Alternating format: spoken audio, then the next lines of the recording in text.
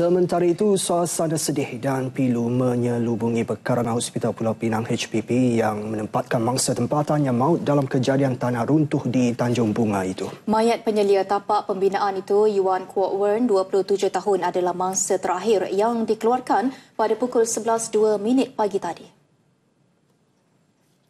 Jurucakap keluarga David Giam berkata pengebumian dijadual diadakan Jumaat ini. So for her, I talked to the father. The father is very sad, very distraught, and the mother also the same also. So they they wish they will come and speak to you all directly lah, in front of you, but they are too distraught. So they asked me to come and represent them. Tambah David lagi, pihak keluarga juga belum merancang untuk mengambil sebarang tindakan undang-undang ke atas mana-mana pihak berhubung kejadian itu.